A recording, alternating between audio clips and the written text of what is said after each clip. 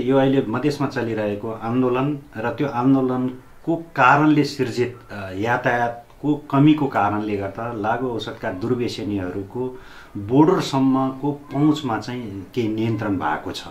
उनीहरू सहज रूपमा चाहिँ बोर्डरमा पुगेर बोर्डर पारीबाट लागु औषध बोकेर आफ्नो गन्तव्यमा पुग्न नसकिरहेको अवस्थाको कारणले गर्दा पनि औषधिजन्य लागु औषधहरूको कारोबारमा ओसार पसारमा र सेवनमा चाहिँ कमी आइराखेको हामीले महसुस गरेका छौँ।